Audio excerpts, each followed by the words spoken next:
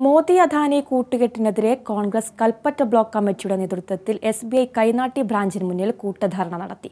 പൊതുസ്വത്തുക്കൾ കേന്ദ്ര സർക്കാർ കോർപ്പറേറ്റുകൾക്ക് തീരെഴുതി കൊടുക്കുകയാണെന്ന് ആരോപിച്ചാണ് സമരം.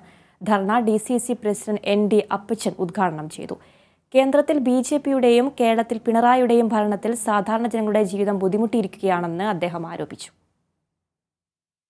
തൃശൂർ ചിമ്മിണി ഡാം പണിയെ തുടർന്ന് കുടിയൊഴിപ്പിക്കപ്പെട്ട കുടുംബങ്ങൾക്ക് ഭൂമിയുടെ പട്ടയ വിതരണം നടത്തി. കള്ളിച്ചിത്ര ആദിവാസി കോളനിയിലെ പതിനേഴ് കുടുംബങ്ങൾക്കാണ് പട്ടയം വിതരണം ചെയ്തത്. അണക്കെട്ട് നിർമ്മാണത്തെ തുടർന്ന് കുടിയൊഴിപ്പിക്കപ്പെട്ടവർക്ക് ഒരേക്കർ ഭൂമി വീതമാണ് സർക്കാർ വാഗ്ദാനം ചെയ്തിരുന്നത്. ഇതിൽ അവശേഷിച്ചിരുന്ന മുപ്പത്തി അഞ്ച് സെന്റ് വീതം ഭൂമിക്കാണ് പട്ടയം നൽകിയത്. കള്ളിച്ചിത്ര സാംസ്കാരിക നിലയത്തിൽ നടന്ന ചടങ്ങിൽ പട്ടയ വിതരണം മന്ത്രി കെ രാജൻ ഉദ്ഘാടനം ചെയ്തു. മന്ത്രി K Radhakrishnan K K Ramachandran M L A collector Haritha V Kumar എന്നിവരും ചടങ്ങിൽ പങ്കെടുത്തു.